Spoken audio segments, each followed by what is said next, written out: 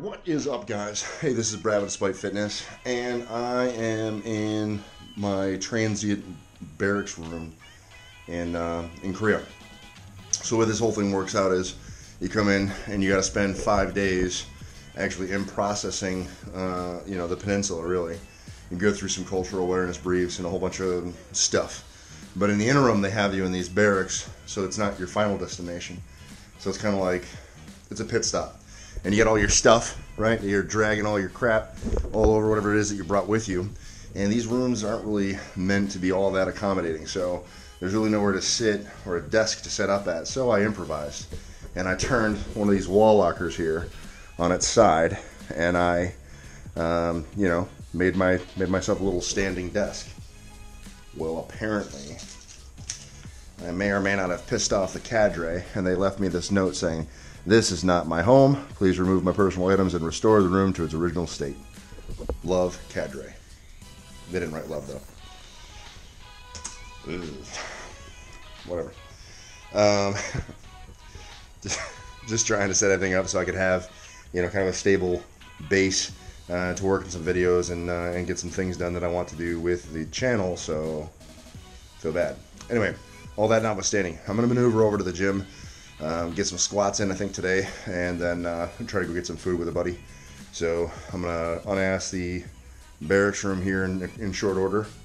We're move over, hit some squats, and uh, it'll be a good time. All right, here we go.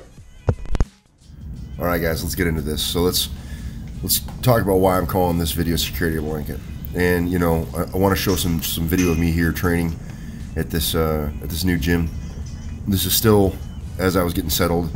As I as I record this voice, voice portion, this is now several weeks ahead of where this video is. Um, you know, so I'm looking back on this video and, and kind of recollecting what I was going through and how I was feeling. And this is coming right on the, the tail end of me having to uproot, leave the leave the United States, leave my family, uh, and you know all the things that I've come to know, all the things that I've come to accept as normal. And um, you know what I try to find is some sense of balance or something, something to kind of ground me, and that's the gym, right? Um, and so I use the gym and I use my training as a, as a method to kind of keep me grounded and keep myself centered, and try to try to find some sense of security. Uh, so in that sense, I, I use the gym like a security blanket. And so, you know, I'm kind of going through motions and, and doing what I know just so that I can, you know, feel some sense of balance and feel some sense of comfort also kind of to point out here, I'm, I'm hitting without belt, without knee sleeves, without my shoes. You know, ordinarily I, I would never ever do that. You know, I, you know, I, I became too uh, tied to those items. You know, um, so during this transition, I, I, didn't have those with me, so it forced me to kind of go outside my comfort zone and, and use some some weights and do some things that I wouldn't normally do.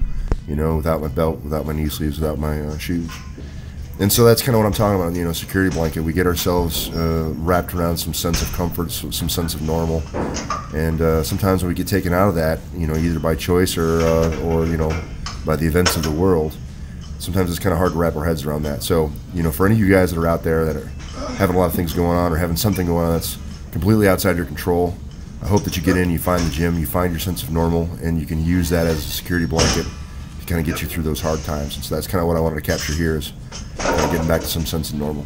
There you go. I'm back in the hotel room, or the barracks room rather, and I'm changed up and go get some dinner with a friend of mine, and um, yeah, gonna call it a night. I want to uh, kind of acknowledge I've, I've heard people say that they have a hard time hearing me.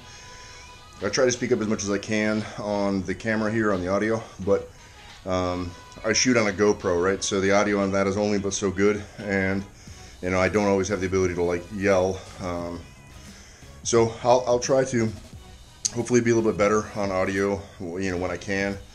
Um, but for anyone that has a hard time hearing me, I apologize. I certainly am not doing that on purpose. Um, you know, at some point in time, uh, you know, my hope and expectation is if I can grow the channel enough to get to the point where I can kind of remonetize, because I'm not monetized at this point. If I can remonetize um, and try to, you know, hopefully you know, build up um, through earnings on the channel and use the that to basically upgrade the channel. Better camera, better audio, stuff like that. So those are definitely things that I hope to be able to achieve long term. And you know, all the subs and all the views and all that stuff definitely help me to that end. So, um, you know, to that, you know, please help me with those those likes, the shares, and the subscribes. If you haven't subscribed to the channel already, I, I really would appreciate it if you did. Um, the video today was just a quick one, a quick session getting out to the gym. Um, the, I did 455 um, by five sets, three reps. It was pretty uh, pretty good.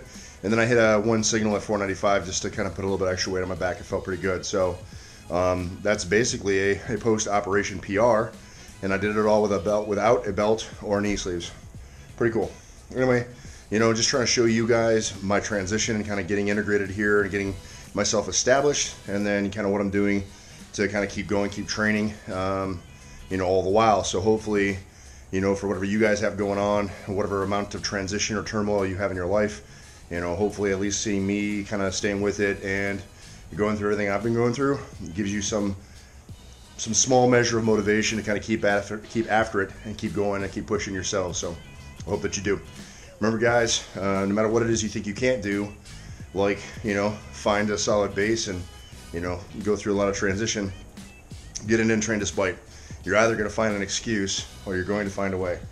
And I hope, like me, I hope you find that way. Thanks for checking out this video, guys, and I will see you in the next one. Peace.